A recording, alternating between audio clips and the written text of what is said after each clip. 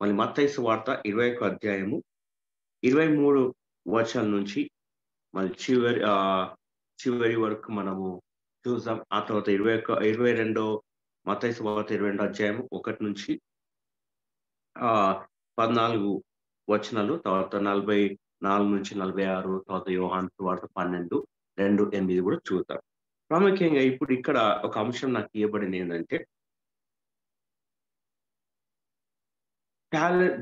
Jesus was challenges sorry challenges Jesus authority మళ్ళీ ఎవరు మళ్ళీ యేసుక్రీస్తు ఒక అధికారంని సవాల్ చేస్తున్నారంటే ఆ కాలంలో రిలీజియస్ లీడర్స్. మళ్ళీ నిజంగా ఈ యొక్క రిలీజియస్ నాయకులు యేసుక్రీస్తు అధికారాన్ని వాళ్ళు సవాల్ చేస్తున్నారు. ఇవాళ ఇవాళ ఈ యొక్క జనరేషన్ తరుణంలో చూసినట్లయితే చాలా మన మతం నాయకులు మన నిజంగా యేసుక్రీస్తు బోధనను సవాల్ చేస్తూ ఉంటున్నారు. సంఘంలో చూసినట్లయితే ఎవరైతే యేసుక్రీస్తు బోధను ఫాలో చేస్తారో ఉన్నట్టు ఉన్నట్టు చెప్తే సంఘాల్లో మళ్ళీ వాక్యం బోధించడానికి కానీ సంఘం నడిపించడానికి కానీ చాలా కష్టం ఉంటుంది. ఎందుకంటే సంఘస్థుల ప్రకారము మనుషుల ప్రకారము వాక్యం బోధించాలి. సో ఇక్కడ కూడా చూసినట్లయితే ఏసుక్రీస్తు వల్ల ఇక్కడ ఉన్న మత నాయకులకు పారసీలు కానీ మిగతా వాళ్ళ నాయకులకు కానీ వాళ్ళందరికీ కూడా అబ్జెక్షన్ వచ్చింది. ఎందుకంటే ఏసుక్రీస్తు బోధ డిఫరెంట్ ఉంది. ఏసుక్రీస్తు ప్రతి ఒక్కరి కోసం వచ్చాడు. బీదోలను బలపరచడానికి వచ్చాడు. బలహీనులను బలపరచడానికి వచ్చాడు. కాబట్టి ఈ యొక్క నాయకులకి ఏంటంటే ప్రతి మనిషి కూడా వాళ్ళు చెప్పిన నడవాలి కానీ వాళ్ళకు వ్యతిరేకంగా వాళ్ళకు ఈక్వల్గా వాళ్ళను ప్రశ్నించే రీతిగా ఉంటుందని వాళ్ళ యొక్క ఆలోచన. కాబట్టి ఇక్కడ యేసుక్రీస్తు ఒక అధికారం అథారిటీని ఇక్కడ సవాల్ చేస్తారు ఎందుకంటే యేసుక్రీస్తు వల్ల చాలా మంది వాళ్ళు ఆయన శిష్యులు కానీ ఆయన నమ్ముకున్న వాళ్ళు కానీ ఈ యొక్క నాయకులకు వాళ్ళు వ్యతిరేకంగా ఉంటున్నారు. లోబడట్లేదు. నాయకులకే సవాల్ చేస్తున్నారు. కాబట్టి ఈ యొక్క ప్రాబ్లం సమస్య వచ్చింది. సో ప్రియమైన దేవుని సంగమ మనము ఇరవై మూడో వచనం నుంచి కొన్ని వచనాలు చూసినట్లయితే ఈ యొక్క ప్రశ్న ఎవరంటే పారసులు Pharisees Pharisees demand know where Jesus God is authority మళ్ళీ యేసు క్రీస్తు ఈ ఈ అధికారం ఎక్కడి నుంచి వచ్చిందని ఈ ఫారసీలు ప్రశ్న చేస్తాను సవాల్ చేస్తాం డిమాండ్ చేస్తాం మళ్ళీ యేసు క్రీస్తు దేవుడే కాబట్టి ఆయన జ్ఞానవంతుడు కాబట్టి వాళ్ళకు దేవుడే నాకు ఇచ్చినది అధికారం అని చెప్పలేదు. ఎందుకంటే ఒక నిజంగా దేవుడే నాకు ఇచ్చినని చెప్పింటే యేసుక్రీస్తు ఏమ ఆడ ఏమవుతుందంటే వాళ్ళు యేసుక్రీస్తుని తిట్టేవాళ్ళు. యేసుక్రీస్తుని దూష ఆ దూషించేవాళ్ళు మళ్ళీ ఒకవేళ నేనే నా సొంత ఆలోచించి నేను చేస్తుంటే కూడా సమస్యలు ఉండేది కాబట్టి యేసుక్రీస్తు తెలివిగా ఏం చేశానంటే వాళ్ళ ప్రశ్నలకు కరెక్ట్ జవాబు ఇవ్వకుండా అన్రిలేటెడ్ ఆన్సర్స్ అన్రిలేటెడ్ ప్యారబుల్తో యేసుక్రీస్తు మాట్లాడుతా ఉన్నాడు ఇక్కడ. మళ్ళీ ఇక్కడ చూసినట్లయితే ఈ పారబుల్ నిజంగా యేసు నిజంగా ఈ క్వశ్చన్కి వాళ్ళు వేసిన సవాళ్ళకి ఈ పారబుల్స్ అన్ని కూడా సూటబుల్ ఆన్సర్స్ కావు. ఇక్కడ ఏమి ఈ పారబుల్స్ అన్ని కూడా ఉపమానాలు అన్ని కూడా ఏం వర్ణిస్తుంటే ఏసు క్రీస్తు స్వభావము. ఏసుక్రీస్తు మనకున్న రిలేషన్షిప్ గురించి మనము ఏసుక్రీస్తుతో ఏ విధంగా ఉండాలి? తర్వాత పాత నిబంధన చూసినట్లయితే ఇజ్రాయేలు ఏ విధంగా ఏసు సారీ ఏ విధంగా దేవుణ్ణి సృష్టికర్తను తండ్రిని ఆయన ఉపమానాలను ఆయన ఆజ్ఞలను తిరస్కరించి దేవునికి వ్యతిరేకంగా జీవించినారో అవి అవి కూడా ఇక్కడ ఆ దానికి సూచనగా ఉన్నాయి. కానీ వాళ్ళ ప్రశ్నకు ఈ యొక్క పేర ఉపమానాలు సూచన సో ప్రియమైన సంగమ ఈరోజు మనం ఏ విధంగా ఉంటున్నాం? ఈరోజు మనము ఏసు క్రీస్తుని సృష్టికర్తను ఈ లోకంను సృష్టించిన దేవ దేవుణ్ణి మనం సవాల్ చేసే వాళ్ళుగా ఉన్నామా? లేకపోతే ఆయన ఉపమానాలు ఆయన బోధలను మనము ఫాలో పాటించే వాళ్ళగా ఉన్నామా? యేసుక్రీస్తుకి లోబడే వాళ్ళమే కాదు. ప్రియమైన దేవుని సంఘమా చాలా సంఘాల్లో మనకు అన్ని కూడా ట్రెడిషన్స్ ప్రకారం చేస్తున్నాం. మనుషుల రీతిగా దేవుని రీతిగా లేదు. ఈరోజు పాస్టర్ సేవకుడు బిజీగా ఉన్నాడంటే ఆయన దేవునితో చాలా పాస్ చాలా సేవకులు దేవునితో సమయము తక్కువ గడిపి మనుషులు సంఘస్థులతో సమయం ఎక్కువ గడుపు అంటే ప్రేయర్స్ బర్త్డేస్ తర్వాత ట్వంటీ వన్ డేస్ ఇవన్నీ కూడా చిన్న పిల్లలు ఇవన్నీ కూడా ఎక్కడ వచ్చినాయంటే it's out of the biblical concept so ప్రేమ దేవుని సంగమ? ఈ నలభై దినాల్లో మనం ప్రాముఖ్యంగా దేని ధ్యానిస్తున్నాం అంటే ఏసు క్రీస్తు ఏ విధంగా జీవించాడో దాని గురించి మనం ధ్యానిస్తున్నాం. ఆయన బోధలు ఏ విధంగా బోధించాడు? మళ్ళీ ఇక్కడ నిజంగా చూసినట్లయితే మళ్ళీ ఏసు క్రీస్తు వాళ్ళ ఆ ప్రశ్నకు జవాబు ఇవ్వకుండా ఆయన ఉపమానంతో మాట్లాడుతున్నాడు. మరి ఇరవై వచనం చూసినట్లయితే మళ్ళీ నిజంగా మళ్ళీ యోహాన్ని కూడా ఇక్కడ ఇన్వాల్వ్ చేస్తాడు. బాప్టిజం ఇచ్చే యోహాన్. ఆయన గురించి ఇంకా కావాలంటే మనము మతేసు వార్త మూడో అధ్యాయం చదివినట్లయితే మనకు క్లియర్గా ఉంటుంది. మనము ఇప్పుడు అంశం గురించి మాట్లాడతాం సో ఇరవై తొమ్మిది వచ్చిన చూసినట్లయితే ఈ యొక్క ఉపమానం దేని గురించి మాట్లాడితే మన కుటుంబంలో ఒక కుటుంబంలో ఇద్దరు బిడ్డలు ఉన్నట్లయితే ఒక బిడ్డ చర్చికి వెళ్తూ ఇంకో బిడ్డ కూడా వెళ్తూ అంటే వాళ్ళు నీతిగా న్యాయంగా ఉండకుండా ఉండడం. ఇక్కడ చూసినట్లయితే మొదటి కుమారుడు ఏం చేస్తాడంటే మొదటి కుమారుడు వెళ్తాన్నాడు ఇరవై తొమ్మిదో వచ్చిన నేను ఇంగ్లీష్లో చదువుతాను. I will not he answer but later he changes his mind and first ఏమో నేను వెళ్ళను అని చెప్పాడు. ఆ తర్వాత ఆయన ఏం చేసినంటే ఆయన మనసు మారి సెకండ్ కుమారుడు చూసినట్టయితే ముప్పై the the went went to son and son and same thing same thing. I will I will, sir, but go మొదటి go. ఏమో కుమారుడేమని వెళ్ళను అని చెప్పి మళ్ళీ వెళ్తానన్నాడు మళ్ళీ రెండో కుమారుడేమని అంటే వెళ్తానని చెప్పి వెళ్ళకుండా సో ఇక్కడ సో చాలాసార్లు మన కూర్చోండి కూడా చాలా మంది బిడ్డలు మన బిడ్డలు కూడా దేవుణ్ణిలో గ్రో అవుతూ దేవుణ్ణిలో గ్రో అవుతూ తర్వాత దేవుణ్ణిలో జీవిస్తూ దేవుణ్ణిలో కొన్నిసార్లు స్థిరంగా ఉండి పడిపోయి తిరిగి దేవునిలోకి వస్తూ ఉంటారు.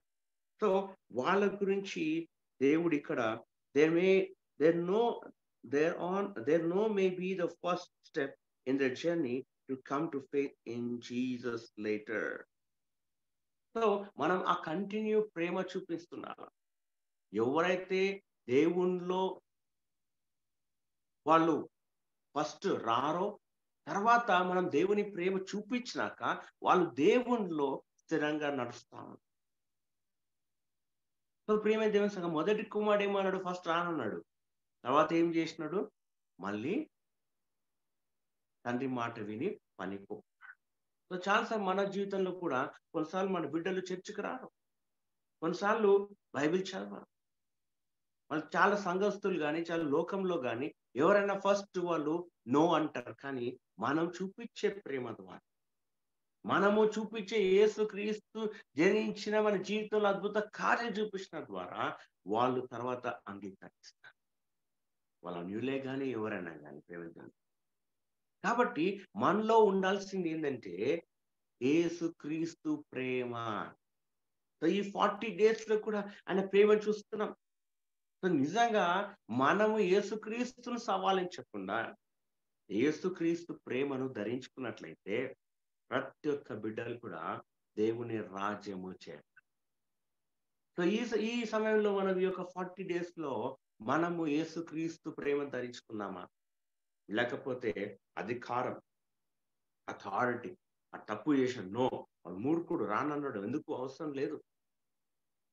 అని మనం వాదిస్తూ వాళ్ళని దూరం చేస్తాం అన్యులు మనల్ని మనల్ని ఇంకా హింసిస్తున్నారు ఇంకా మనల్ని ఆ శ్రమలు పెడుతున్నారు. వాళ్ళని ఎందుకు మనం ప్రేమించాలా? No we have to love true love we have to gain them ప్రేమైన దేవుని సంగమా. సో ప్రేమైన దేవుని సంగమ ఆ విధంగా మనకు ఉండాలి. మళ్ళీ ఇక్కడ మళ్ళీ సెకండ్ కుమారుడు చూసినట్లయితే మన నో అన్నాడు. ఫస్ట్ ఎస్ అన్నాడు. తర్వాత ఆయన రాలేదు. So the son who said he would obey and then did not represented many of the people of Israel in Jesus' day.